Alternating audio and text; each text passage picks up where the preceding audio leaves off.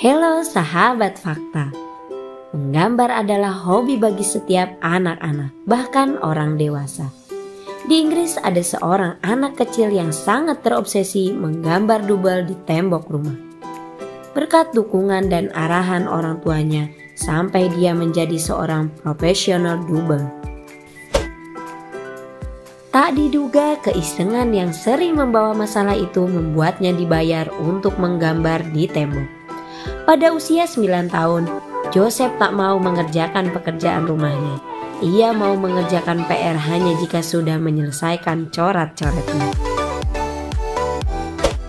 Joseph sendiri mengaku memiliki obsesi terhadap coret-coret atau yang biasa disebut doodle atau doodling tersebut.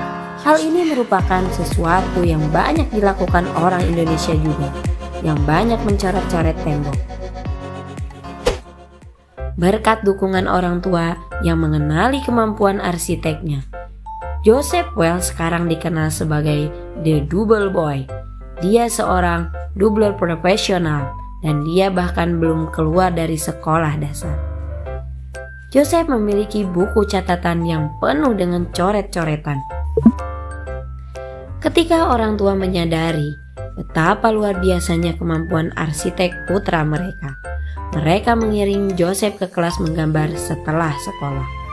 Di sanalah Joseph lebih banyak berlatih dan mengasah karya dubelnya. Karya seninya segera diperhatikan oleh staf di sebuah restoran di Strawsbury, Inggris.